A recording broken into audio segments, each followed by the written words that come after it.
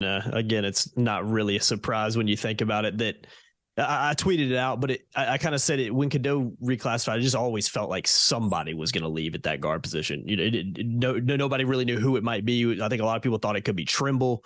Um, you know, could be uh, uh, who ended up being Wilcher. Could be somebody else that maybe a transfer that had come in, but ultimately ends up being Wilcher. And, and like you said, still plenty of depth in that room. So I don't think there's any need at all for Carolina fans to panic or throw blame around on Hubert. I think it's just when you got a really talented guy reclassing that you bring in, you got a lot of people there already.